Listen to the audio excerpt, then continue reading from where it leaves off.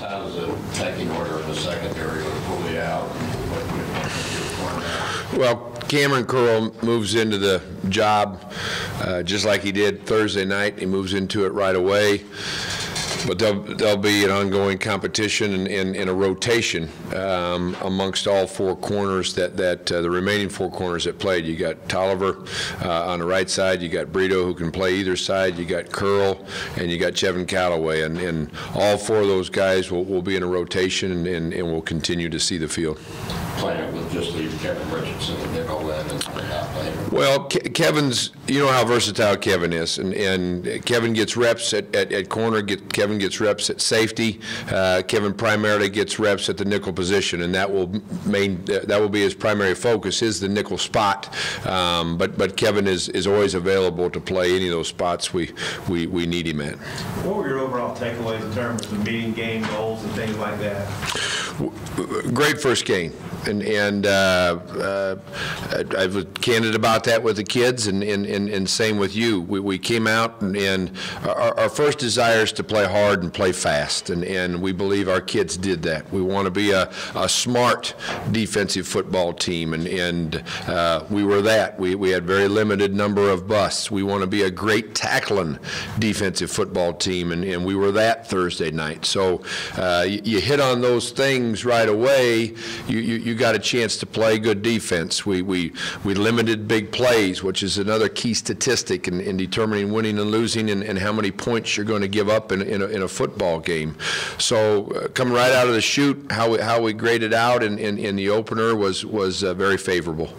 How big of a challenge is it for a true freshman to potentially make his first start against a team like TCU? Well, that's a huge challenge, no matter who you're playing. Um, But, but TCU certainly, uh, you know, compounds that with, with, with him.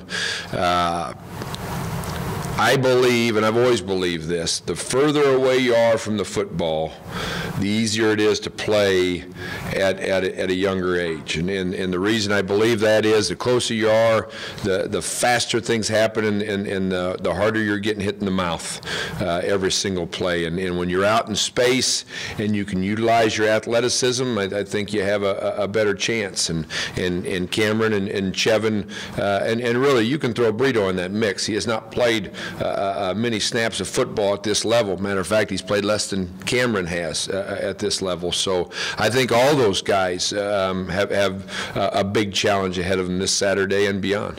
What has Curl done where you put him in first and just as far as his camp in general?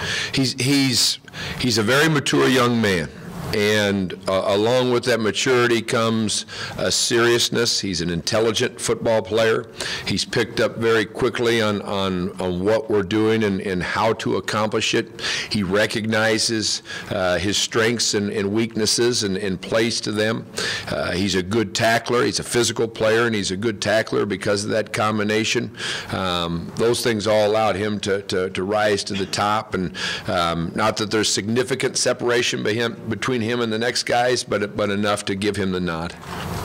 So just the scouting report on those guys, looks like they really attack the edges and they're quick and they had, they went up tempo a lot. They're quick and fast, uh, um, uh, extremely fast. And, and I don't know if, if I've ever seen a football team put the sheer number of guys on the field that could just flat out fly uh, like I saw with them Saturday night. Um, they are up tempo. They, they, they always have been. You can pick any game that you like, and you're going to see a team get caught with their pants down, being, being out of position, not lined up with, with, with their eyes in the right location. And, and it'll be one of the keys to victory for us to, to be aligned properly with great eye discipline and great football stances to be able to match this tempo and speed of Texas Christian.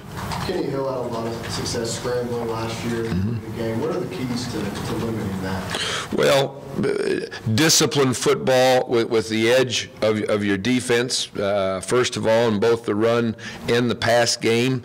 Um, I, I wish it was that easy in the pass game, that, that uh, with, with, with four guys rushing, or, or three guys rushing, or five guys rushing, with the space that you're talking about, that you could just say, we've eliminated the, the, the scramble of this player. It just doesn't work that way.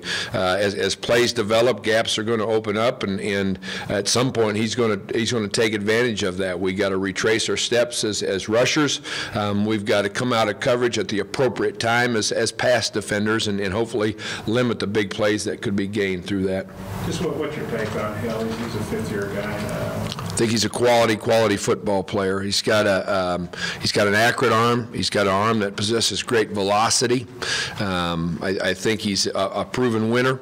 Uh, he, he can do it with his feet as, as, as well as with uh, with his arm. Uh, as, as they've undergone a, a transition of play callers and so forth, obviously he still has the confidence of all those people to, to be in the starting role. He just led his team to a, a, you know a lot of points and, and, and a nice victory. So uh, a great amount of respect uh, uh, for Mr. Hill. You- faced Patterson a lot when you were at Iowa State. I guess this was his, past season was his third losing season ever there, but every year they, they've lost, they, they've come back real big the next year, kind of. Well, what do you think that says about? Well, Gary's a tremendous football coach, and, and you know, to, to last as long as you, as he has at, at one place, uh, you know, speaks volumes of, for, for, for what he's accomplished there, both with his staff and, and, and with all those teams. Um, I, I think it's hard to do that this day and age. I, I think their, their staleness isn't the right word, but, but, um, you know, staff and players, and administration and fans, and, and to have the uh, endured success as, that he has, um, you know, speaks highly of his ability to lead and, and teach and, and coach. Um, Doesn't surprise me that, that that would be a mark that if they've had a down year, that they've come back. Um, He's a very dedicated coach and, and, and demands the same of his staff. Paul, you don't play against their defense, but uh, I would assume through the years you've seen the recruits and the way he gravitates towards speed. Maybe not the biggest guys. Yeah. Does this team kind of mirror that? It does, and, and I think the first criterion for, for, for Gary, and, and, and this is not knowing that, of course, is speed, and, and, you know, that's not unusual, we, we all want speed, but I, I think he probably favors speed over size. Now, he's always been uh, big interior-wise, but as he gets to the edge, even on his front, um, he, he has maybe leaner, uh, longer uh, guys that, that can that can run as opposed to just take care of a, a gap, and, and uh, that's been a trademark of his defenses, and it's one of the reasons why they've been uh, been playmakers um, and, and created a lot of negative yardage plays as well as turnovers, and, and have been very successful in that regard. He, he's he's a guy, and, and uh, another this not unusual, but he he really believes in taking offensive skill players uh, and and placing them on the defensive side of the ball, maybe even more than than, than I would. I, uh, there, there's always an unknown when you don't see a guy uh, playing the game backwards. He's always playing the game forwards that, that you're not not sure of whether whether he can truly do that or not. But he's had great success, whether it's quarterbacks or running backs, taking offensive skill players and, and turning them into great defensive players. With Turpin and the freshman Snell, there's another dimension in that they're so short. They can come popping out behind that line, is, is, is that a, how does that element play into the game? It's, it's a big element. I'll go back to uh, 1995, 1996. Um, You remember those years, Bob, right? Okay. Uh, um, uh, Troy Davis, uh, um, uh, uh, great running back of ours at Iowa State, um, had had two consecutive 2,000-yard rushing season, only back in the history of college football to ever do that.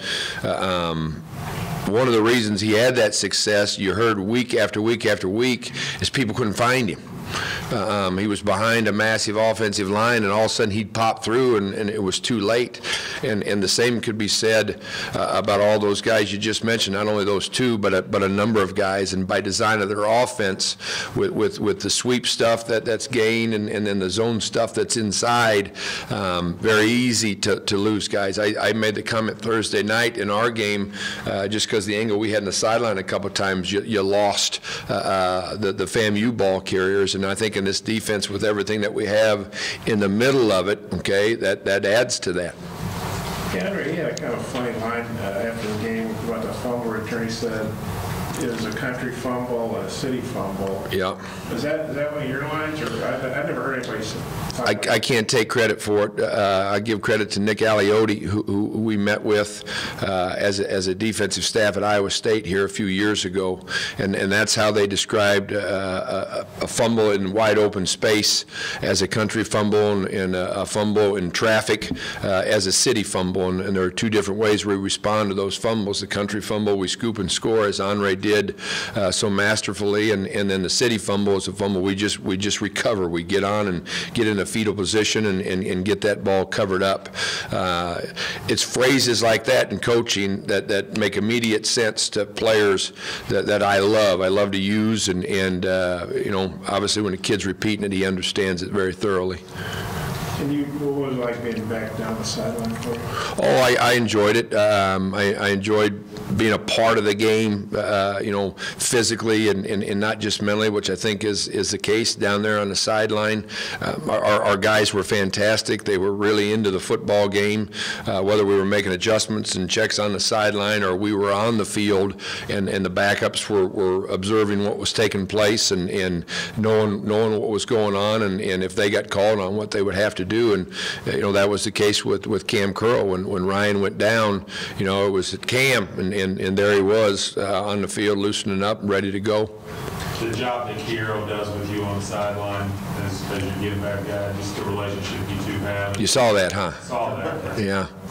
Um, I, I realized uh, a couple weeks before the season that I was going to need assistance uh, in, in, in remaining on the sideline just uh, out of, you know, excitability. And, and so uh, I, I asked him to, to help me out, and, and uh, he made sure to remind me at one point that that was him pulling on me constantly, and, and that's, that's great. We, you know, we, we, um, we did get a penalty on, on Thursday night, and, and we're, we're very displeased that that took place. Um, But that's, you know, in an attempt that, that we don't get one of those and, and and certainly don't get another one.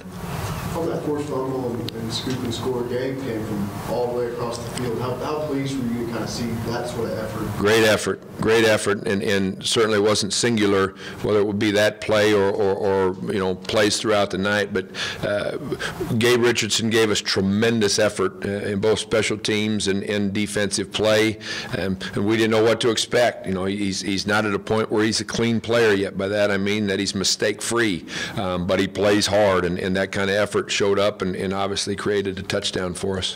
When you said we got a penalty, was that you? It was, it was not. It was not. I apologize to you, I meant to ask Bret that. Who made contact? Was it with a player? I'm not quite sure.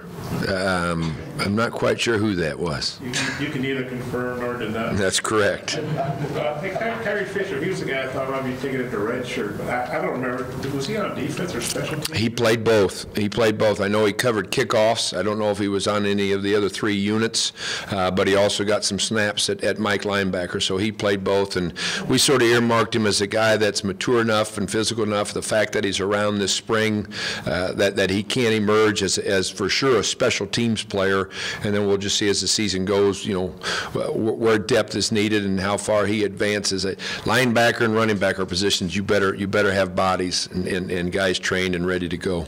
You know, you know, last year's game, for three quarters, you guys held them down pretty good. What are the elements that have to go into place to keep an offense like that from blowing up on you? Well, being on the sideline is, is, is one of them, and I, I don't mean to uh, simplistically say that. It's a huge part of this game, is, is for our offense to stay on the field and, and, and truly win the time of possession and, and uh, gr- grind them out a little bit while we rest and, and, and stay as fresh as we can be. Uh, As you recall, we had given up zero points at, at halftime last year, and at the end of the first half, I saw it and, and then uh, told Rob as soon as we got in, into the locker room at, at halftime, we're tired. Um, we, we will not play nearly as well the second half as we did the first half because we we just started to get gassed there at the end. So uh, when you have four corners, you, you got to be prepared to four, play four corners. When you have multiple safeties, you better be able to play multiple safeties, and that's true at, at everywhere. So we'd like to play a lot of guys, stay fresh that way, and, and stay on the sideline as much as our offense allows us to. How rare is to have a guy like Randy Ramsey who can play in, in space like he does and rush the passer. Is that the kind of player you're recruiting for that position? Ab- Absolutely, absolutely. And, and the combination of that razor hog position, the more guys that we can get like him, uh, the better served we'll be as, as a defense. Um, You know, he, he- he's a guy that, that people are going to have to game plan for. Where, where is he going to be? Is he going to be to the field and, and be off? Is he going to be in the boundary? Is he going to be off? Is he going to be playing with his hand down or, or in a two-point stance on the edge uh, to the field or to the boundary and, and pass rushing? And, and uh, his, his ability and, and also his mental capacity allows us to do that with him. Thanks, Coach. Thank you. Hey, so if Des Moines was a city for in Iowa, what, what would be a country football? What town would that It- be? it, um, Colo, I thought Colo. your athletic ability would keep you away from the referee. I was, I was out of the way. I was clean.